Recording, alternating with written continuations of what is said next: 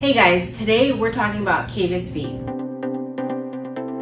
Hey everyone, it's me, Dr. Nooreen, your resident foot and ankle specialist, and welcome back to my channel. Alright you guys, so what are cavus feet? Cavus feet is basically the medical term for someone with a high foot arch type. So you guys, what are some causes of cavus feet? Uh, some people are just born with high arches and that's totally natural. But there's also a neurological component to having a high arch. Sometimes people with neurological disorders can have high arches. So for example, someone with muscular dystrophy, polio, cerebral palsy, Charcot-Marie-Tooth, those are just some examples of neurological processes that can lead to you having a higher arch. Now, if you were born without high arches and you're noticing as you age that you're you are starting to develop higher arches, you might want to see a neurologist and just get everything checked out to make sure everything's okay. But other than that, if you're born with high arches, totally normal, and just some people just have high arches.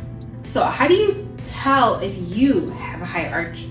A lot of people will be sitting down and they look at their feet and they think, oh, I have an arch because they see that curve on the bottom of their foot. But actually, the real way to tell whether you have a high arch or not is actually to stand up. The way you tell your arch type is by weight bearing or putting weight on your feet, basically standing up and seeing what your feet do then.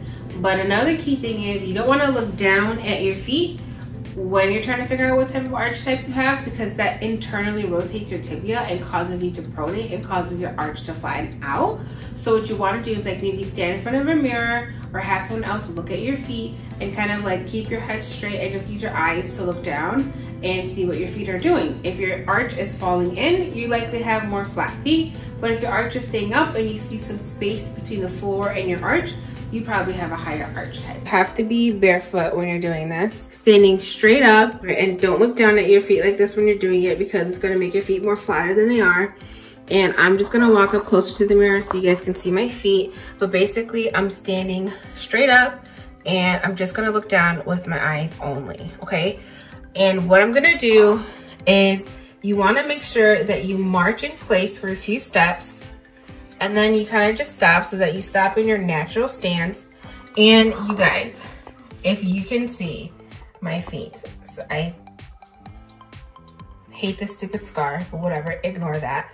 Look at the inside of my feet, right? So this is where you guys wanna look. You wanna look at the inside of my feet, both of them. As you can tell, they're kind of falling right onto the floor, right? There isn't any, you don't see a curve, you don't really see an arch, they just look really flat and that's because my feet are flat. The other way you guys can look at it is if you turn sideways, right? Now you can see that I do have a little bit of an arch right there, just very slight, but my feet are still pretty flat.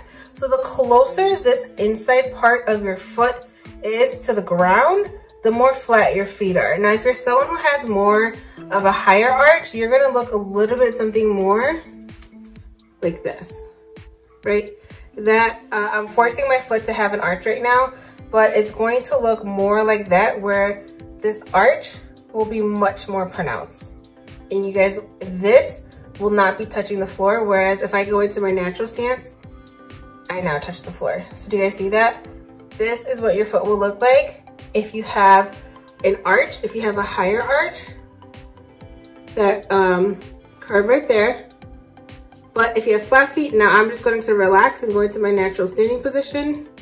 Boom, it falls completely down because I don't have much of an arch. It's pretty much touching the floor. So you guys, that was just a quick little information on cavus feet and high arches and things that, that, can, that can cause and how you tell if you have a high arch. If you have any questions, please leave them in the comment section down below. And as always, you guys, thank you so much for watching. Don't forget to stretch and subscribe, like this video, and I'll see you guys next week. Bye.